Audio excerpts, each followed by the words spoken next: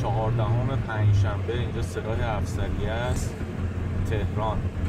اینا ماشین های ضد شورش سپاه پاسداران یگان ویژه دارن اعزام میشن به تهران. الان ساعت سه بعد از ظهر. برای سرکوب مردم. مقرشون هم تو همون جاده خاوران. این گزارش رو می‌گیرم برای گزارشگر منوتون